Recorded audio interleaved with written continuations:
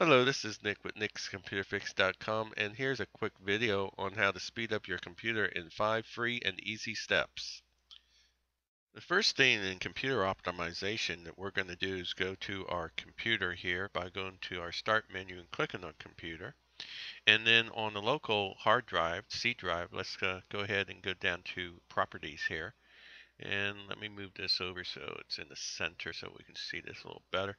Okay, under um, this menu here, we want to do disk cleanup. And uh, once you click on that, it'll calculate how much space you can free up by doing um, a uh, disk cleanup here.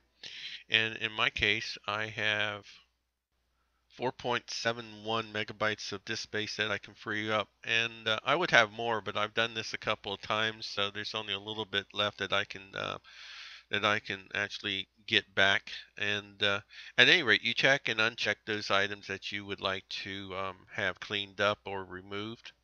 And then once you do that, uh, oh yeah, by the way, um, you can also do your system files, but I don't recommend that. And then you click on OK. And that'll go ahead and ask you if you want to permanently delete these files. And uh, if you do, you just go ahead and click on Delete Files. And it'll go about doing that for you. Okay, optimization step number two, we're going to go up here and click on Tools.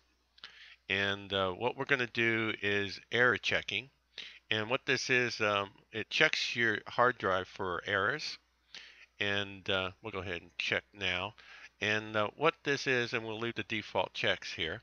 And we'll click on Start down here. But what this does is um, it goes out and schedules a um, um, error checking on your hard drive um, for you uh, because you can't check your local hard drive that's active um, at this point. So we're going to go ahead and say schedule disk check. And then when your computer restarts uh, the next time, it'll check your disk for disk errors and clean those errors up for you. Okay, um, the next item is defragment now. And that will open up the defragmentation application on my computer. And uh, basically what um, defragmentation is is that uh, it consolidates fragmented files on your computer's hard disk to improve your computer's performance and it really works well. I recommend it highly that you do this and you highlight the uh, hard drive that you want to uh, defragment and you can click on analyze or you can defragment uh, your disk right right then and there and uh, make that happen. Um, now I'm not going to do it because um, I've done it recently and it does take a couple of hours to defragment your hard drive, but I recommend it. So let me get out of that. And uh, let me go ahead and cancel this. And uh, the optimization number four is uninstall and uh, or change a program on your hard drive. So basically any applications that you have installed on your computer that you no longer want to have uh, installed on your hard drive and free up some disk space, um, you come down here, you highlight it, and once you highlight it, um, you go up here and go ahead and click on uninstall.